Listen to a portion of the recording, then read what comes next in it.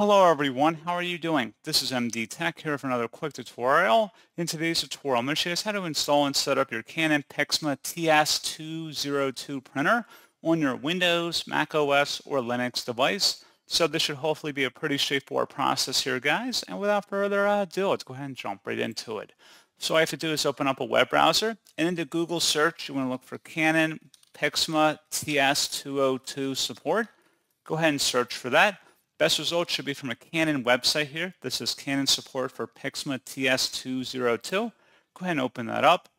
And now that we're on this page here, just scroll down underneath Downloads and Expand Software and Drivers. Scrolling down again, you want to select the TS200 series full driver and software package. Select Download. And then once it's downloaded, go ahead and open up that file. Should be from a verified publisher, Canon Inc. Select Yes. And then you can close out of the browser and select Start Setup, select Next, and then proceed with the on-screen directions here about configuring it for your specific configuration type, whether it's a wireless connection or a wired LAN type. So pretty straightforward process, guys, and just following through the on-screen directions at this point, and you should be good to go. So as always, thank you for watching this brief tutorial. do hope that I was able to help you out, and I do look forward to catching you all in the next tutorial. Goodbye.